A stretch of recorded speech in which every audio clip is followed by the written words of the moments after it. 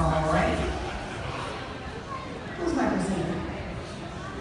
Is that Eric? Hi, our head sponsor. If you would, please bring the fourth place awards. competitor 55, Antoine Gateway.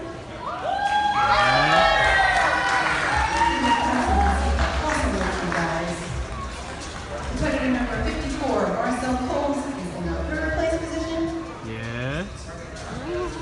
Let's go, Tony! To your award. Competitor number 59, Calvin Lashley. Woo! Let's go, Tony. That makes our first place men's classic physique. Competitor number 56, Anthony Martinez. Yeah!